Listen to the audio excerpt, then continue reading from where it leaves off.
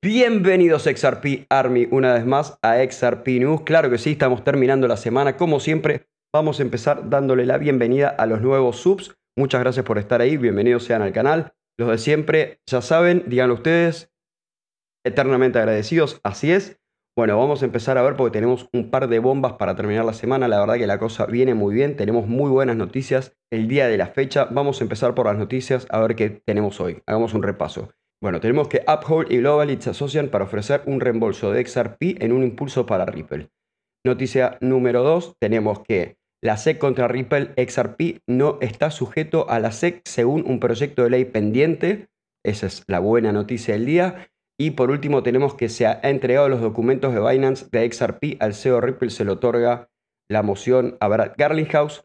Así que estamos muy bien, comunidad, estamos terminando la semana, estamos llenos de novedades buenas para XRP, To The Moon. Sin más, arranquemos. Bueno, como siempre ya saben, vamos a empezar por nuestros amigos de la comunidad de Twitter. Tenemos a Mac Maurath, XRP Carbon, que nos dice Uphold y Global It se asocian para ofrecer un reembolso de XRP en un impulso para Ripple. Veamos la nota de esto. Bueno, nota del día Final Fits que dice que Uphold y Global ID se asocian para ofrecer un reembolso de XRP en un impulso para Ripple. Vamos a ver qué dice la nota. Uphold, la plataforma global de dinero digital, ha anunciado una alianza con Global ID, la plataforma de identidad digital para el lanzamiento de tarjetas de XRP que serían una tarjeta de débito Mastercard que proporciona hasta el 5% de reembolso en la moneda digital XRP. Se informa que Uphold tiene más de 5 millones de clientes y proporciona servicios de dinero digital a sus usuarios al dar acceso a más de 30 monedas digitales y también les da la capacidad de gastar y convertir las monedas digitales en fiat.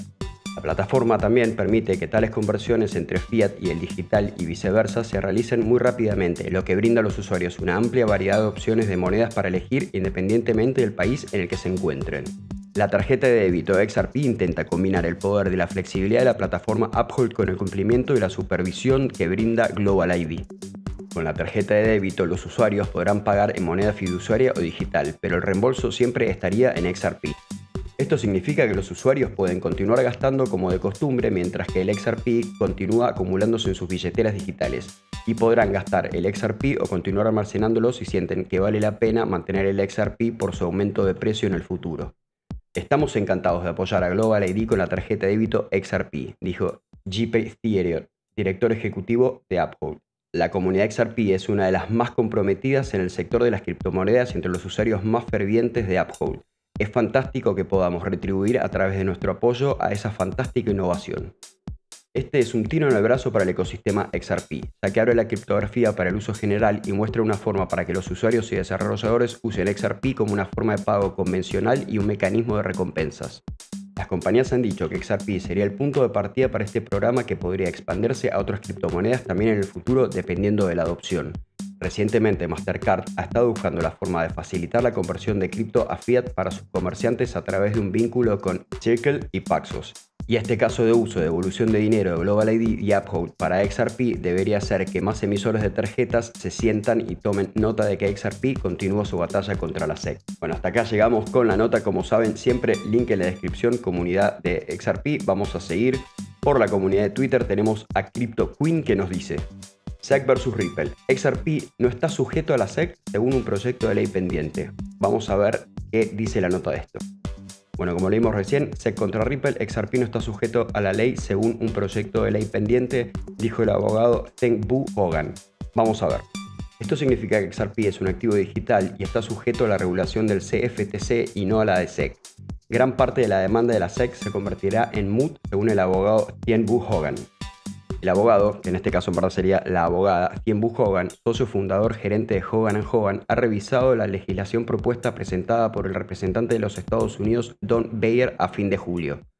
La Ley de Estructura de Mercados de Activos Digitales y Protección al Inversionista tiene como objetivo proteger a los consumidores y promover la innovación mediante la incorporación de activos digitales en las estructuras reguladoras financieras existentes. La primera nota al proyecto de ley es que es una enmienda de la Ley de Valores de 1934, que agrega la sección 101, que define una seguridad de activos digitales en un activo digital que proporciona al titular del activo cualquiera de los siguientes derechos. Y luego, si ve los números romanos del 1 al 4, básicamente está definiendo lo que tradicionalmente considera un valor. Derechos a ganancias, intereses y dividendos, derechos de voto. digamos más abajo. Aquí es donde el abogado Tien Hogan encuentra la salida para XRP de Ripple. La definición es básicamente de lo que hablaba el exdirector Hinman en su discurso. La ley define un valor como un activo digital donde la plataforma no está completamente construida y para el cual el dinero de las ventas financia el desarrollo del servicio propuesto, los bienes o plataforma del emisor, dijo en un video. Y eso es todo. Si el activo digital no actúa como un valor tradicional, como una acción de una empresa y el dinero de la venta no se utiliza para construir la plataforma digital, entonces no es una seguridad digital y no está sujeta a la regulación de la SEC. Luego, la abogada fue paso a paso en su análisis de XRP como una seguridad potencial. La primera parte de la prueba es si XRP tiene alguno de los sellos distintivos en una seguridad tradicional. Si posee XRP, ¿tiene una partición accionaria de los derechos de voto en Ripple? No, absolutamente no. Eso es difícil. En cuanto a la segunda parte de la prueba, ¿el servicio, el bien o la plataforma estaban totalmente operativos en el momento de la venta o el dinero de la venta se utilizó para financiar el desarrollo de la plataforma? Esta parte de la prueba es un poco más complicada, pero sin duda el libro mayor de XRP, que es la base de la plataforma de Ripple, está y ha estado totalmente operativo durante algún tiempo. Puedo argumentar que algunos de los productos más nuevos que Ripple implementó en los últimos años son nuevos y que el dinero de las ventas de XRP se utilizó para desarrollarlos. Pero el negocio de Ripple está en el software que rodea la plataforma y definitivamente no lo hace. Parece el tipo de cosas que la legislación prevé como una seguridad digital. Si se aprueba esta legislación, es poco probable que XRP entre en la definición de un activo de seguridad digital, por lo que no está sujeto a la regulación de la SEC, concluyó la señora Hogan. Dado que el proyecto de ley podría promulgarse mientras la SEC contra Ripple está en curso, surge la pregunta si la ley se aplicará retroactivamente. Bueno, la Corte Suprema de los Estados Unidos nos dio una respuesta en 1994 en el caso Landgraf vs. UC Film Product. El caso Landgraf fue un caso de acoso sexual, pero implicó la aplicación de un cambio de la ley durante la tramitación del litigio y proporciona un marco para nuestro análisis de XRP. Además, la Constitución de los Estados Unidos dice en el artículo 1 que ningún Estado aprobará ninguna ley ex post facto o que menoscabe la obligación de contrato. Ex post facto se aplica solo en dos situaciones. Uno, a las leyes penales. Y dos, donde la ley posterior a los hechos impone mayores penas civiles sobre el tema, según el abogado. Entonces aquí, aplicando la nueva ley a la situación de Ripple, pasamos esas dos pruebas, porque la ley no es criminal y ninguno de los demandados está acusado de un delito, y también porque en este caso específico la ley no crearía mayores penas civiles. De hecho, probablemente conduciría al fin de la demanda. En cuanto a la intención del legislador, el caso Landgraf apuntó al efecto que tendrá el estatuto. Si la ley aumenta la responsabilidad de las partes por conductas pasadas, no se aplica retroactivamente. Este proyecto de ley propuesto específico aumenta la responsabilidad, especialmente para los intercambios, pero no en cuanto a si XRP es un valor o no. Entonces, en este caso, la nueva ley ayudará a Ripple y por lo tanto es muy probable que se aplique retroactivamente. Bueno, vamos a dejar esta nota hasta acá. Vemos cómo ya se lo venimos diciendo hace semanas. Se está cayendo, se está cayendo, se está cayendo. Falta poco XRP Holders to the Moon. Vamos a ver las próximas días o semanas cómo viene el caso pero vemos como siempre lo dijimos desde XRP News en español, el caso viene muy tirado de los pelos, así que bueno, esperamos tener buenas noticias en los días venideros. Vamos a seguir por la comunidad de Twitter. Bueno, tenemos tweet de Hannibal Barcas XRP que dice, se han entregado documentos de Binance XRP al CEO de Ripple. Vamos a ver la nota de esto. Bueno, nota de Bolt Network que dice, se han entregado documentos de Binance XRP al CEO de Ripple. Veamos qué dice la nota.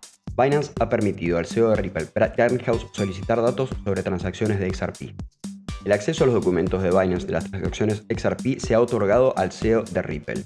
La solicitud de Brad Garlinghouse para recopilar registros de Binance fue aprobada por Sana Edburn, la jueza que preside el caso continuo de Ripple ante la Comisión de Bolsa y Valores. La Comisión de Bolsas y Valores ha presentado una demanda contra Garlinghouse por presuntamente violar la Ley de Valores de 1933.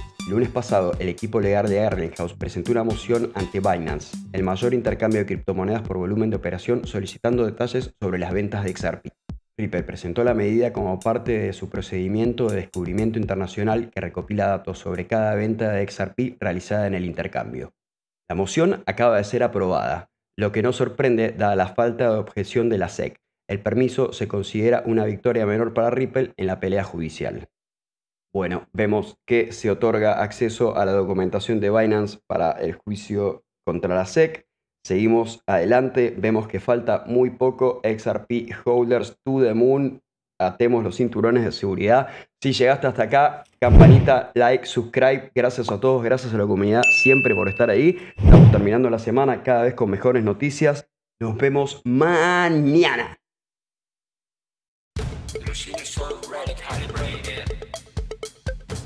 make a start to trouble now.